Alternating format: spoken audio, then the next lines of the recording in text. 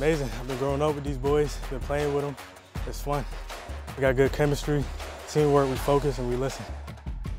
Being back together with everybody uh, is always a great part of football, just the family and the fellowship with everybody. The ability to be able to do something structured, gaining good habits, and doing the right thing. This group is unique for us. In years past, we've always returned a all-conference player or someone of that magnitude. This year is just a, bunch of Lackey Chargers, I call it. Extremely coachable, hardworking, they're on time. They had an excellent off season. They understand what it takes to get better. The strengths, our O-line. Our O-line is good. We got a lot of size. I feel like I'm good without having to be able to move too much and actually do my progressions. We got a lot of variety and skills for every position needed and every space that we need to go. We just gotta focus more, continue grinding.